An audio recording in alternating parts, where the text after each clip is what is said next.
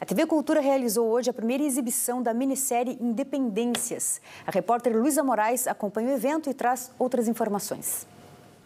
A minissérie Independências estreia no feriado do dia 7 de setembro, justamente na data em que o Brasil comemora o bicentenário da independência. São 16 episódios que vão ao ar uma vez por semana.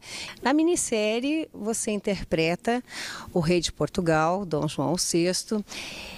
Como é que foi esse desafio de viver um personagem que já foi vivido em outras vezes e uma leitura completamente diferente num cenário e num Brasil tão diferente. É, você tocou no ponto que eu acho que é o ideal dessa série. Ela chama Independências, não é à toa, porque ela está com uma visão independente, digamos, da visão oficial que a gente conhece e daquela visão caricata que a gente tem do Dom João VI, aquele que está sempre com a mão engordurada, comendo franguinho e balofo e e, impotente, enfim, uma, uma visão que a gente quer eliminar e trazer de volta à realidade.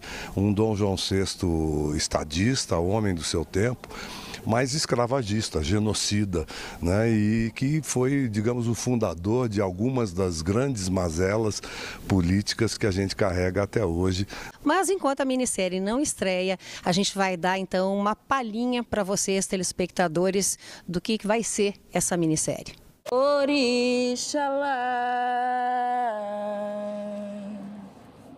uma história nunca contada. Mas o que me move é construir esta nação.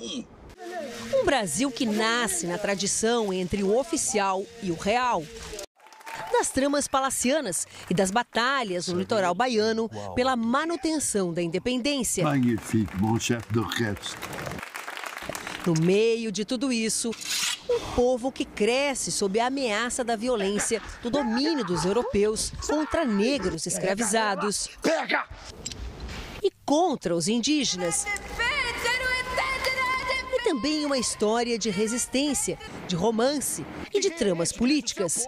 Por isso o nome plural da minissérie, Independências. Representa a nação! O cineasta Luiz Fernando Carvalho assina a direção. O roteiro é do dramaturgo Luiz Alberto de Abreu, parceiro de longa data do diretor, com quem fez obras premiadas, como Hoje é Dia de Maria, exibida pela TV Globo. O projeto nasceu da pesquisa do jornalista José Antônio Severo, que morreu no ano passado, vítima da Covid-19.